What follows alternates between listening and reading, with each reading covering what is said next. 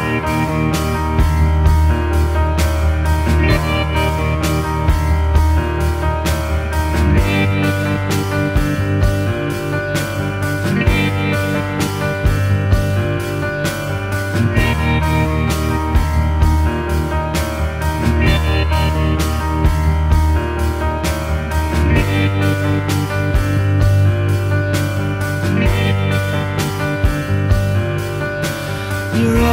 just like De Flores.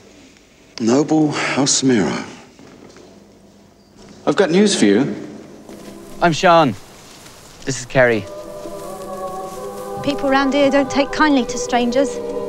We don't mean any harm. Yeah. Come on, Magpie. Come on.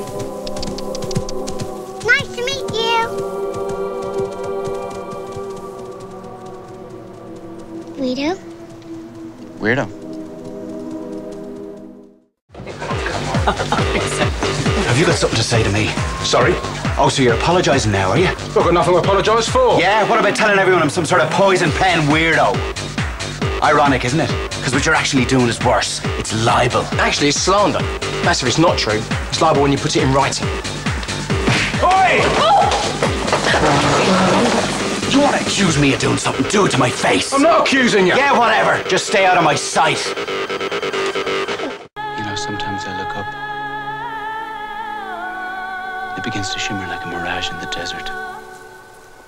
And it seems to come up really close and transparent like a window.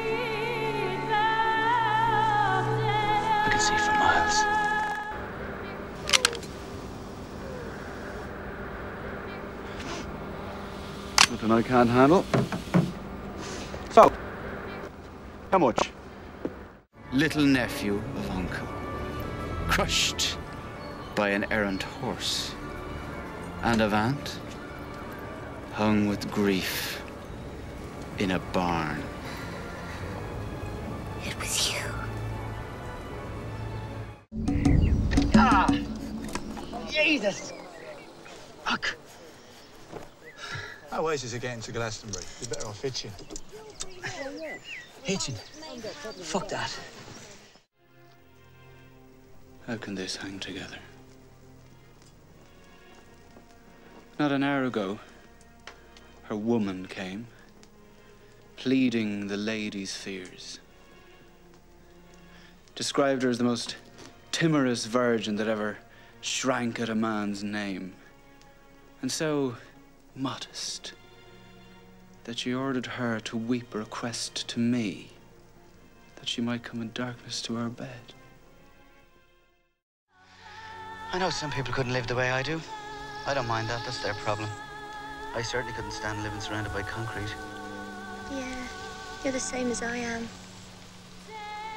What he doesn't understand, though, is that his way of life, the modern way, is destroying the planet.